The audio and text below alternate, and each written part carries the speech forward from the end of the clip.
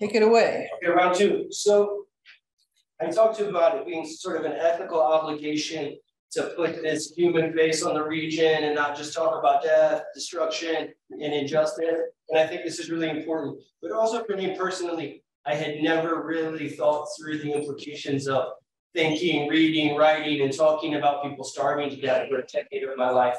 Um, that got really old, you know, because I wanted to do something nice. And I wanted to talk to students about something nice. And I was in the Jesuit archive in, in Beirut, and I found hundreds and hundreds of pages of archives from Ksara, which is still the biggest commercial winery in Lebanon. It was founded by Jesuits in the mid 19th century. And I thought, aha, I'm going to sort of balance the famine with, with feasting. So I started looking at the history of wine, which I'm happy to talk about. Not really going to talk about today, if you have questions about wine in Lebanon, happy, happy to look at those. And I was here at the center, and the center's really lucky to have six grants because we can do so much with them. And one thing that we did was fund. we're here. Yeah, exactly. Um, that's why we're here today. And we got to bring um, all these really young scholars from everywhere in the world to talk about this like strangely neglected topic, which is the cuisine of the Eastern Mediterranean uh, which hasn't been the object of a lot of scholarly inquiry. I'm going to try to talk through why that is today. You think about French food, like we could fill this room with the books written about the history of French food, South Asian food, um, Mexican food. But you like you can't throw a rock anywhere in the world almost without finding uh, a Mediterranean restaurant, right? And these are coded different ways, which is also interesting thing to talk through. Yeah. How do restaurants from Levant code themselves and, and why? Where I grew up, it was always Mediterranean yeah. or sometimes Lebanese and Greek, which meant definitely Palestinians. And it's unfortunately, unfortunately now people are people are um, are more comfortable showing off their Palestinian identity publicly uh, everywhere in the United States. So I think that's a, a sign that some things are, are changing. Not that everything, of course, has changed. So Anny Gaul is really the food studies person. She works on Egypt. She does a lot about uh, gender and class and technology and kitchens in the 20th century. Are you screen sharing? I'm, I'm, in, I'm in to share my screen, but I wouldn't put anything past me. Oh. Sorry about that, friends. Learning outcomes. All right, great. So we can go the book. Um, any of the food studies person, I really encourage you to check out uh, her work if these questions resonate with you. We'll talk about recipes at the end these are ideas about pedagogy that I got from my collaborator Ed Gull. Um, Vicky's the editor here at the center, um, absolutely transformed this text and made it accessible to a broad audience. Um, and then we had all these different contributors. So we're not the writers of this book. There's lots of different voices contained in it. So why has this topic not received the attention it should? What processes made Levantine cuisine what can food studies offer your classroom in the Middle East and beyond? So at the end of this session, we'll be able to account for all of these things. Uh, the answer um, to the first one, in my view, is pretty simple. Like you come into direct conflict with some sort of nationalist narratives immediately when you look into this. So something that's supposed to be very pure, very authentic, very, very stable, starts to unravel really quickly in ways that can be confrontational to exactly the kind of audiences you're trying to cultivate by this line of inquiry. Do you see, do you see, do you see what I'm saying? Yes. yes. Issues of appropriation get really, students these days come in with some very firm ideas about appropriation and it's wrong. And uh, it's often me standing in front of a group of diverse students saying appropriation isn't what you think it is.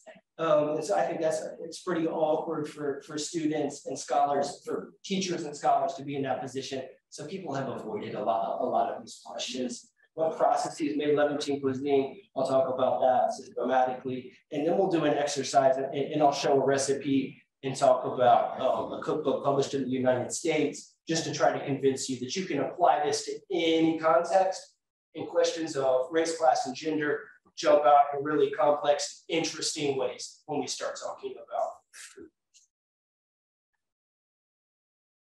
So uh, what does history of food offer our classrooms? Let me, because of the hybrid format, just be thinking about this. I won't put you back in. Should we go back in small groups? Democracy in the classroom here, let's vote. That's- I don't wanna go I I We're gonna stick on. It's just one that, it's just, no, no, it's not, it's, it's, Engaged, it's just going to take time that will cut away from what you're doing. like I said, We can just open discussion and people have been very responsive that way too online. So, you know, teachers are the best students, I'm just gonna rely on y'all to be thinking about this, I'll get through my presentation, and we will have time to have a discussion on, on, on the end. Oh, so it. The first modern Arabic language was written by this man, Khalil Sarkis, published in eighteen eighty-five. The title is really interesting, right? Who is he writing to? Wow. And this ideology on the front end, when you have the modern Google first emerge, it gets implicit later, right? Like the gender politics. But it's just out, like the gender and class politics are just out in, in, in, in. Um, and so this is where I started, you know, we, we can't, how do you know what was really happening in the kitchen if you just have a cookbook, which is prescriptive, how things should be, how people should act? So I try to read these, I tried, we, we tried, our Lebanese collaborator of mine, Michelle Kavalan, and I read these cookbooks uh, sort of against the grain of their class and gender projects. And we focused on dish kibbeh, which are like dumplings, but they're not dumplings. Meat mixed with grain, with a filling. Um, there's lots of variations that we'll talk about. So we, we found all of the Arabic language cookbooks um, from modern Lebanon, published in modern Lebanon, and tried to see what uh, we could find. Sarkis was born in the village of Bay in 1840, which is like the capital of the central Medina region, very close to Beirut. He comes to Beirut as a city star, was rising as a cultural and economic capital, and he gets involved with American missionaries and especially the missionary press. In this cookbook, it's sometimes he's clearly copying an American, um, some sort of US cookbook that I have not been able to locate. How do I know that? Because he's telling a wife how to cook um, a wild turkey that her husband has killed. So like, there's no wild turkeys in Eastern Mediterranean, that's not a thing. So what's interesting to me is there's like a derivative aspect of this project, right? It's subconsciously derivative. He talks about climbing the ladder of civilization to be like the West. And this is how a woman needs to organize her middle class home to achieve that, right? So instead of eating on the floor like in villages, you eat at the table. You have discrete um, courses in the meal. You have silverware.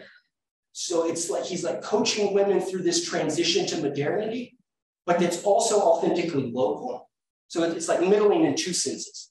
It's not the old peasant tradition, it's not the old elite tradition, it's something new. And it brings all these foodways from the village into an urban context in Beirut. But this is like Beirut, Jerusalem, Aleppo.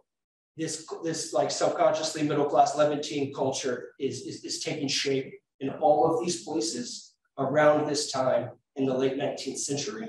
And so I see this as the birth of Levantine cuisine. There's always sort of a, a class aspirational aspect to this, where what the woman, so what does the title suggest? What is the lady, what is her role in food production? Sophisticated European style. She's, yeah, she's sophisticated. Again, authentically Overseeing the, Oh, exactly. She's not doing the work, she's overseeing servants. So it, you, you see something about what's happening in the society, right? You have people who are landlords who own things, who employ people, and then people who are in employ. Um, Again, this is new class formation, and this is a way to, to, to, to read it. But so there's a nat, usually when this is happening globally, you're also producing like a moral home, but also new national subjects, right? But it's confusing in the 1880s in Beirut because what's the nation in question? When they talk about the food traditions, he writes about sometimes Eastern or Oriental foods, you could translate it like that. And then sometimes he's talking about an unnamed homeland. And then he says, in our Syrian lands, which is vague. The borders of the Levant are not precise, but it's clearly, and he says Syrian, but in the greater sense. So contemporary Palestine, Jordan, Lebanon, Syria. And as we read, if you read the chapter I assigned, parts of what's now Southwest Turkey, if that makes sense. So that, and so that's why it's special, this is why it's kind of, uh, there's a national project here, it's just not attached to a specific nation that still exists today. So one of our findings, findings of reading these cookbooks, and this is what I mean is you like kind of run up against immediately some sort of nationalist agenda. There was nothing called Lebanese food before the 1950s. So what was it called? Sometimes, sometimes he calls it, sometimes he calls it Eastern. Sometimes he calls it Syrian. Okay. Um, Not, not more like Bilad Sham. exactly like Bilad Sham. Okay. Yeah, yeah. Uh, fi- fi- Tarina Sudi is what he says specifically. So like, yeah, in these, yeah, in, His land of. yeah, in these, in these Syrian lands, but it's kind of touchy. So this cookbook stays in print all throughout the French Mandate period. There's no, there's nothing to replace it. People reprint the recipes, but interestingly, in the 30s, in the last reprint, they flip and put the Eastern recipes at the top and then the derivative recipes below. So over time, it kind of becomes more comfortable being itself, if that makes sense. Yeah. I can send you a copy of this. if you're interested. What's the literacy rate in the region, like, uh, Okay. Uh, but so again, which tells you who this is aimed at. yeah, Right, this is aimed at like a new literate class who's in touch with foreigners in a city like Beirut and is sort of trying to figure out like the, right, again, how to be modern, but also authentically local. And, and a lot of these people, so, and this applies to, this isn't, um, this class phenomenon is not limited to one sect, but there are a lot of Christians. And so this is important later. Christians have, Eastern Christians have fast days, right? So you have to have fast days. fast days. Oh, fast, And so you have to have a meat dish and then a vegetarian component to eat on Fridays or during Lent or other fast days. Uh, and so that's why these Eastern Mediterranean food traditions were very, were very kind of nimble on their feet when the rise of vegetarianism happens in the late 20th century in the West, because it was like, it's very healthy food. And it's also, there's vegetarian alternatives for everything. And what sect was Khalil from? He, he was a convert to Protestantism. And I, and you, and I, and I, So he wasn't Maronite. is he born Maronite? I don't know. I, I'm Orthodox? Yeah, I'm sorry. He was one of the earliest con- converts to Protestant, Protestantism, and I assumed he was Greek Orthodox before he was Protestant, but I, I would, but I, I would check. that's okay. It's not. I was kind of curious. it is interesting, but also because like in this genre of writing at the time, you, you don't, he doesn't, this is not, there's no, there's no, there's, there's no, there's no sectarian words in the book, right? Mm, it's not, it's just that you're describing a subject that's like authentically Syrian, Yeah. which again, which I, tra- which I translate as levity, but isn't marked by uh, religion, except for that um, a good meal, a good meal ends with a, dis- the hostess displaying a set of bottles of liquor collected from around the world, Yeah. right? So I think, which again, which was not a practice limited to Christian communities, of course, but but you do get the sense that that is coded Christian, which is also interesting, right? Because some of the Protestant missionaries um, who were there would have been teetotal. So I also wonder about like drinking, like a lot of these people who are coming from the United States wouldn't have um, Yeah. consumed alcohol. So these are the kibbeh dishes and sarkis. One, they, they made one. So that's you know them. Doesn't, this- these, and the other thing to look for when you, when you read recipes is like, what does the recipe assume that you know to make these? If that makes sense. Yes. And so you get more information over time.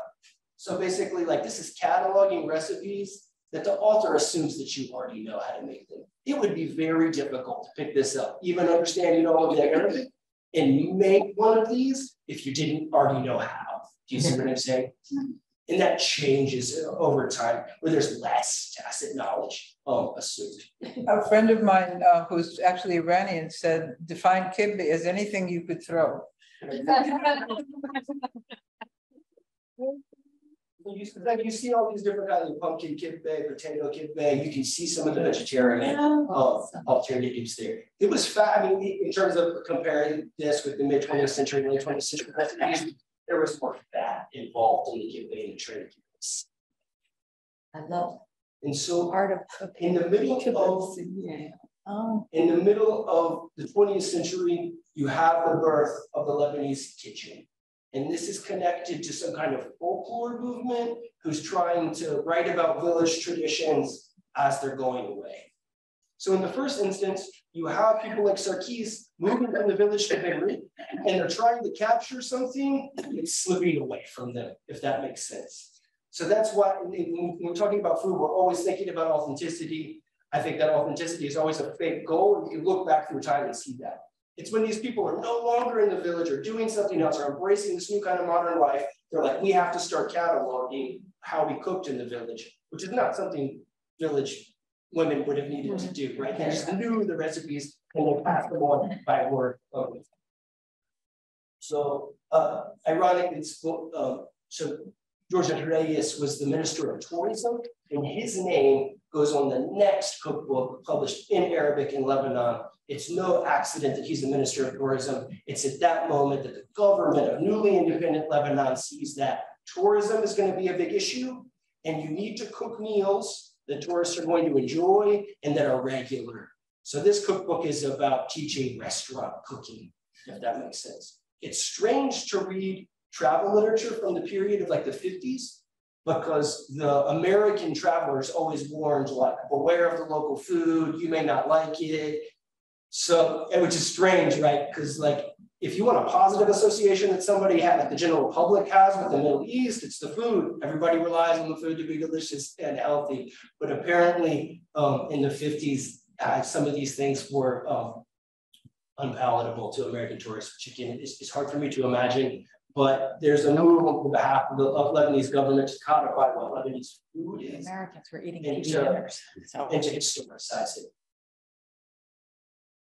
I, and where does kibbeh fit into that? It's interesting because like the food in the village was always very frugal, right? It wouldn't have had a lot of meat. But kibbeh wasn't, and so a lot of like the, when, when you read about the history of Middle Eastern food, we have court cooking, right? We know how people cooked in courts. We know how the elites ate. How did everybody else eat? I think kibbeh is quintessentially Lebanese, which is quintessentially Levantine, excuse me, becomes Lebanese. But before that, you don't find it in Ottoman cookbooks from elsewhere in the empire. What's also interesting is it's it's middling food. It's people people eat That's like if you're if you're in the city of Sidra, for instance. Mm. Um, travelers there would say you heard you heard people um banging the kibbeh into a paste in every home. So it was like a very already kind of middling tradition that gets imported um in, in into modern homes. Was there much of a street food kind of tradition? Yeah, there's street food everywhere, and like working class food like kebabs, which is something that you read about, also becomes sort of middle class every everybody's food. But something like a kebab was for to feed a mobile labor force. Okay. So when you have an increasingly mobile working class in the 19th century who's moving seasonally to pick crops like cotton in the Adana region, um, that's where you have sort of the birth of the Adana kebab, which then becomes Turkey's national food. So the argument they made in the chapter that you read is that um, Turkey's national food becomes Levantine, although it's coded as Turkish and not as Armenian or Arab, if that makes sense. So we have this process everywhere where something is taken, something is appropriated, and in that act of appropriation, there's like a historical reality that's hidden. Um, in this case, it's not national, it's class-based. Anis Frayha wrote, this is a, a picture from a famous folklore text um, called the like the, the Lebanese village, like in danger of extinction. In his village, which he's describing from the early 20th or 19th century, is always a very harmonious place without any Western influence or class conflict.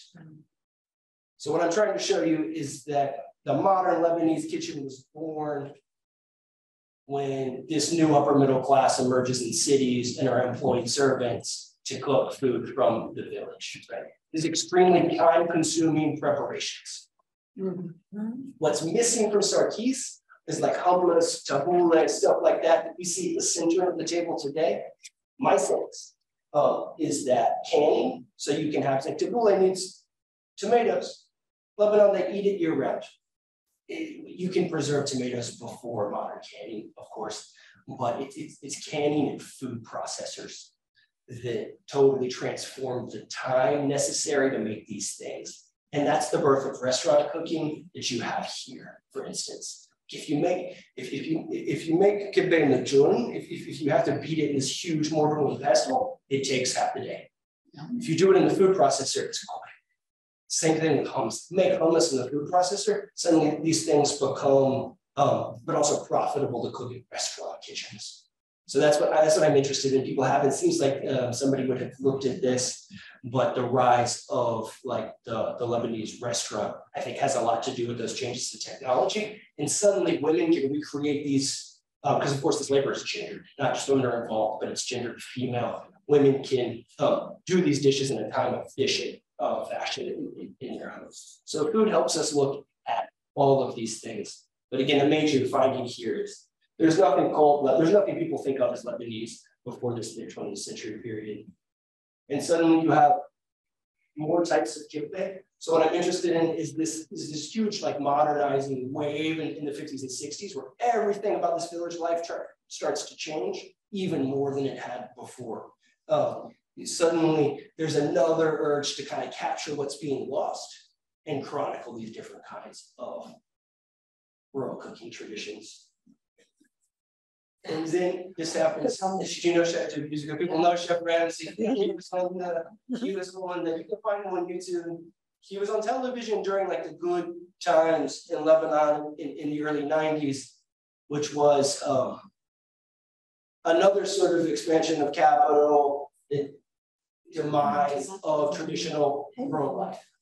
And so what do you know? You have this other as this like traditional life in life in rural Lebanon this is kind of its, its last hurrah when it becomes very difficult for people to maintain their uh, ability, their livelihoods in, in, in Lebanese villages.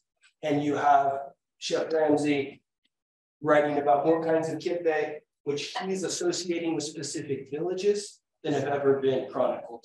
No. So the process I'm trying to put my finger on just to belabor the point is as these things are being lost, people try to capture them in print and in cookbooks. So it's always that authenticity kind of slipping out of your, your hands. I'm not blaming these cookbook authors, these male cookbook authors for that. I'm just saying they're part and, and parcel of that process. So are any of you familiar with this book? Mm -hmm. He wrote it with his partner and two senses and collaborator, Sami Tamimi, who's a Palestinian. And we opened the book with this he's walking with Anthony Bourdain to the old city of Jerusalem. And Anthony Bourdain says, you know, who invented hummus? Yeah, falafel. Falafel. Yeah, yeah, yeah, hummus. Couscous, you could get into any of those arguments. And that's why I'm, I'm, I'm curious to talk about those arguments because that's usually what we associate with these with, with these foods. Yeah. Uh, but Ottolenghi, who's regarded as the authority on food from this place. This all this Anthony Bourdain. He tells Bourdain to nobody knows anything about the anything about this history. And he makes some like very basic historical errors. So let me just say that this conversation about food and origin has proceeded um, without a lot of grounding in, in good scholarship, if that makes sense. It's really uh, obvious that falafel and its equivalents in Egypt are uh, indigenous to the region. But let me say, I think these uh, battles over appropriation are happening more in the diaspora than anywhere else. Um, and like, so let me talk about the United States for a second. Like barbecue is what we associate with the Southeastern United States, um, has its origin in some places in the West African tr traditions. Is the bad thing that white people appropriated barbecue? Maybe, but there's some underlying historical realities there um, that were criminal. And like that's the real wound. Does that make sense? Yes. So hummus. Is the problem that Israelis adopted hummus?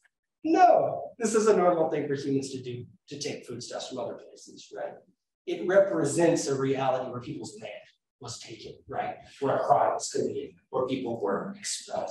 So I always try to lead students to the fact of appropriation let's not die on that hill, if that makes sense. There's a lot of things going wrong here, uh, but I think glossing over um, Zionism and uh, the Nakba, like this book does, I think that's the issue with this book as I read it, not an exploration of human culture in food, um, for instance. Yeah. Like also another example is the Jerusalem salad. Jerusalem salad is salta tahiniya, the tahini salad, and this is purely Jerusalemite, like Palestinian Jerusalemite. Yeah. And it's called Israeli salad now. Mm-hmm. And like, I totally understand why that's offensive, but I just think there's a, there's a, there's an underlying historical reality that, that that, that the, the crime is deeper than taking the salad and giving it a different name, right? Because these traditions are always in flux, right? People are always taking ideas for different things and calling things different things. And that's just like a very natural, and in my view, like welcome aspect of cultural and intercultural exchange. Um, It wasn't. No, I I- was- I was- That wouldn't be a problem. I was going to say the same thing, like, must be so good that everyone claims it. That's my attitude, because it's the same with the coffee. The Turks say we start, you know, the Arabic coffee, Turkish Right. coffee, Armenian coffee. But they all do it the same way with different versions. But well, it must be good, so let's eat it and enjoy like that. you know. And so, and then in Turkey, we read about the Turkish state sort of making pistachios not Syrian anymore, but Yeah, Turkish. Turkish, yeah, That's not a crime. The Armenian genocide was the crime. yeah. Making pistachios Turkish was some, in some sense, a way to cover that up. So to the extent that it fulfills that this appropriation of foods fulfills the purpose of hiding, um, yeah, again, And, historical crimes, then uh, we should lament that. But, and I, I think this genre of book also misstates the following thing. That that kind of cultural diffusion is happening when things are good and intercommunal relations are improving. If you look at the history of Israel and Palestine, in fact, it's the opposite. Uh, Arab Jews, when they go to Israel, are discriminated against for lots of reasons, including their food, which is thought of as unclean. It doesn't fit the Ashkenazic traditions of the elite in Israel.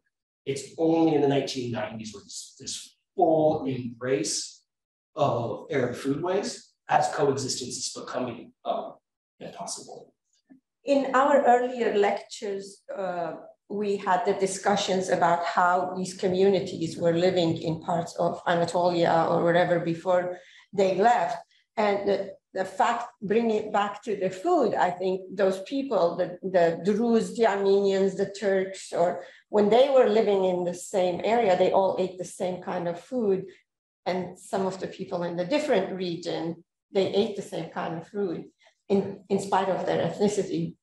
So I think that kind of like ties up to the fact that it's region, it's the same people, different people eating the same thing. Absolutely, and the differences are region by region several. And it's not like, yeah, and whatever was available too, I think, areas where they had vegetables and areas they had grain and they had animals.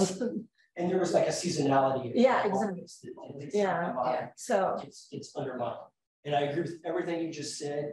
And when you ask Lebanese people, like, is there like a sectarian kitchen? They'll say no. But then with a pause, and of course, there are, um, we already talked about vegetarian alternatives for Yeah. Christian fast days. Of course, Ramadan everywhere, um, has its traditions. yeah, right? Oh, and in, in, in Jewish populations in these places also had their dietary restrictions in, in, in their own traditions, but people would share across these. The Iraqis would talk about, oh, this is a dish that we learned from our Jewish neighbors.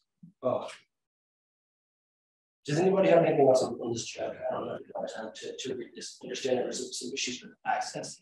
But this is my favorite chapter in the book, if you get a chance to read it, because it really stretches what we think about uh, in terms of the Levant um, into what's now Southwest Turkey. And talks about these issues of appropriation in a new, in a different geographical context that's a little less, um, it's less known than the Israel-Palestine issues, uh, I would say. So I encourage you to take a look at that. Uh, I'll just talk through some of these other chapters to see if these might be useful for you in your classroom. Chapter three, the transformation of sugar in Syria is all about how Syria is well known for its sweets. These were elite traditions. And then when you have the mass production of sugar and ice, they become kind of democratized in, in, in- the 20th century and for everybody. So again, you have this like element of class just jumping right out. Uh, and then my friend Antonio Tahhan, also known as Tony, who was born in Venezuela to uh, immigrants from Aleppo, writes about cooking uh, Yeah, he, what he writes, of this is, it's the recipe that he gives in there is about cooking riz bi halib with his grandmother. Oh. What's riz bi halib? It's very much like a Mexican, uh, uh, um, what do they call it? The rice with, the- you can buy it in the stores, but it's kind of the same thing. But the Syrian ones, the mahlash. I don't recall it, yeah. Um, what do they call it? If you're interested in, um, especially, uh, this moment of contact between European Jews and, you know, Arabic speakers, Jewish and Muslim and Christian, she does a great job of historicizing that kind of, um, encounter, I think, in a new and interesting way. Food is a contact zone between different kinds of people, which doesn't mean that people who sit down together are going to live in peace forever and ever. But as we know, and as we talked about in this session, like food from the Middle East is a, is a, and this is true for lots of immigrant populations, is a key contact zone between immigrant populations and the rest of society here as well. Chapter six is a, is a standard Palestinian, I would say, nationalist account, um, which is very useful in that regard. And then Reem Kassis, uh, talks about regional variations in Palestinian food in a really helpful way in a few recipes that she gives there. So we have academic essays paired with um, recipes in, in essays. And then there's a gendered labor is what Susan McDougall uh, talks about in a very well-written chapter about Amman, Jordan, and Palestinian uh, women who, who live in Amman. And in Shakshuka, do you know Shakshuka? Yeah. Yeah, um, we were just talking about that. This is Noam Sienna, he found a cookbook written in Hebrew characters, but in Arabic, because the Jewish populate, Jewish women in Tunisia could read Arab, couldn't read Hebrew characters for some reason, so would read in, they would read Arabic in Hebrew. Anyway, he translated these shakshuka recipes, which um, appear to originate in, in this community in, in Tunisia. and kind of follows them to, to Israel in an interesting way. And what struck me is that there's a wintertime shakshuka that doesn't have tomatoes, and then the summertime shakshuka. Uh-huh. And so he writes both of those, those recipes there, because this is the one dish that Palestinians have appropriated, because now shakshuka and Sami Tamimi kind of plays with this is Palestinian. The Palestinians have made shakshuka of Palestinians. هذا كان امبارح في شنوكا. tomatoes. It's, it's like, like it's pre-Columbian exchange. Right. What were they using? What were they using? Innovative dishes with the tomato. This is this comes from the early pizza. I mean, you've got hard wheat, high gluten, you know, flour for the crust and tomatoes for the top and a few other things that made their way. Yeah. Say nothing of pineapple. Sure. sure. um, we have until 12. So if you want to speak people about how kind of these symbols of the Levant have become totally unimportant from the geographical reality, I recommend Unmaking Levantine Cuisine, which starts with the 18th Street here and has more in. It talks about Amsterdam falafel and it's then, closed now. I know, I know. No, We have Falafel Inc. And then, and we finish with a conclusion, um, and, and some poetry. But so the activity that I, I would suggest for your classrooms is, um, just find a recipe, and you can find almost any recipe and just ask what knowledge they assume, what moral lesson they seek to impart, what sort of pattern they envision. And, and when you start thinking about those questions, I think you can get a lot of really, um, cool places with students. And, but we never want to limit ourselves to recipes. Um, and food is a great opportunity to do all histories. And So if you encourage students to just do a history with the oldest person and their family, and their family that they can find, ask them how they cook stuff, what kind of technology they used, what kind of spices they used, uh, who did the cooking.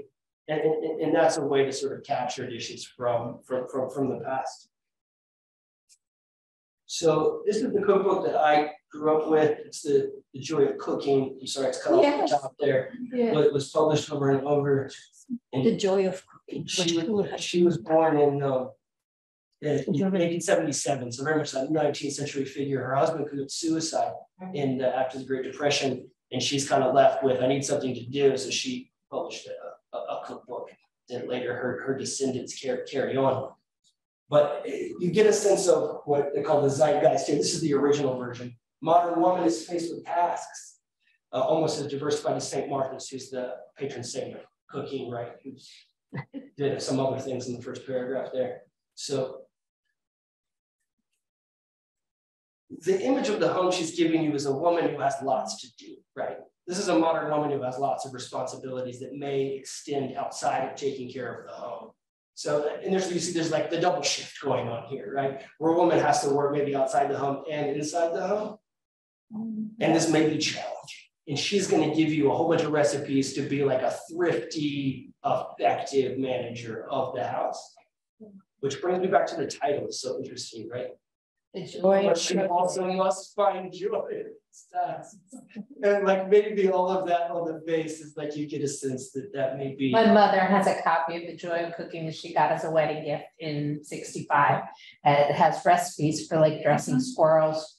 And Yes, I love, I love to compare that one to what I got ninety-five. That's crazy, dressing squirrels. But for the basics, if you didn't learn some kind of basics, you Yeah, can really yeah, get, yeah. and then, of course, her competitor, the bet, the mythical Betty, Betty Crocker. Right. You know, which is similar. My mom had that one too. It's falling apart in, in my cook Yeah, shelves. I in have it too. And so I like just to show students here, right, and how taste changes. Like nobody would eat that, nobody would eat this today. And I love you, and I love you see how it's aimed it like a middle class household, right? Where you're supposed to go through and find everything that's left over Uh. and put it into this big gelatin mass. We all do that, you know, leftovers. Sure. Just take out the gelatin, it's a meal. Changes over, over time. right? Take So- out the gelatin, like some add some the rice. Here is, is outmoded, like this is not a technique that we would, we, we would use anymore. Um, but also if you showed this to a group of students today, they would say this is like weird white middle American cooking that doesn't exist anymore. It was like specific to, to, to that culture. So I think you can find, you can find. Well, then there's a the descendant, the jello, the, the colorful jello salads with all sorts of weird Oh, stuff. yeah. Mini marshmallows and purple. White food. Yeah. So I'm just, I'm curious how you can incorporate recipes and oral histories in your classroom. Let's have a discussion about that with the remaining time before, let's, in North America, restaurants and food venues are likely to be contact zones for immigrant populations from the region and the rest of society. But so I think this is something we need to talk about at the same time that we want to historicize these food traditions. And the tricky thing there is in historicizing them, sometimes we can say things that are like, that are, um, undermines the kind of nationalist understandings of purity and authenticity and stability in these decisions. And My history of the world in six I'm not sure how to navigate that problem, problematic, but I think it's an interesting question. So like, I would hesitate to stand in front of a group of Lebanese students and say, Lebanese food doesn't exactly, it- it doesn't really exist. We have a question from online if it's time for questions. Sure. Erica, um, and also I, before I go to Erica, um, Suad mentions that I believe it's shakshuka is called taktuka in Morocco. What she says here in, in the chat. Erica? Well, I just wanted to um narrate or tell about uh, an experience I had with food. I had, I was teaching at a, a big high school in New York City, Brandeis High School, two thousand kids, Dominicans, Puerto Ricans, um, and some other, you know, Caribbean groups. And we were planned a trip to um, Ellis Island. And what I said was, I said, I want everyone to bring something that you cook at home and we'll have a picnic. And so they brought these wonderful dishes from, you know, one of their, the mothers had spent night, I don't know, smashing these things to make these wonderful foods. And we had this wonderful picnic. And um, I didn't do anything academic by try to talk about contact zones. We just contacted each other by eating this food together and then going to into Ellis Island Museum, which we all said, "Oh, we wish we'd left more time for this." So I thought that was a way to use food in a way that was, um, no, it turned out to be spectacular. It was just, it was just great. It was great. So uh, actually making food that came from each people person's family that were, you know, sort of all in the same um, Caribbean or, you know, um, Mexican area uh, was was great. It was great for the class. Absolutely, and it brings all these questions to the fore in terms of like. What has changed in the diaspora context? like how you can't make things like you would in um, Mexico Lebanon in the same way because you don't have the same ingredients. So there's always adaptations that have been made. And those are fun things to talk about with students. I would also say that for the Arab Americans, this is true. I think it's true otherwise. That even when like successive generations don't know Arabic anymore, the food traditions are what's are resilient and connect people to, to, to that to that heritage.